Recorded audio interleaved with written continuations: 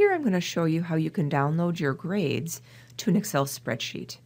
Um, most centers require that you download and print the grades and turn into them at the end of a term. So to do that, you'll click on Grade Center, and then you'll click on Full Grade Center. And then on the right, you'll click on Work Offline, hover on that button, and then click Download.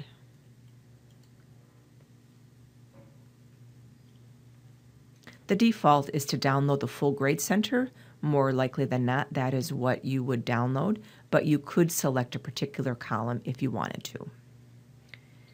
Then, under Options, click on Comma. Then click Submit. Then you'll see that the file has been prepared, and then you'll click the Download button.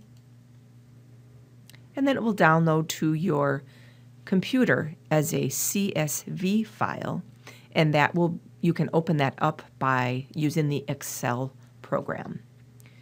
You can go to your downloads area on your browser, and in my case, I'm using Chrome, so it goes here to the corner, this lower left corner. And then you can click to open. And then once it's opened, then you can readjust the columns.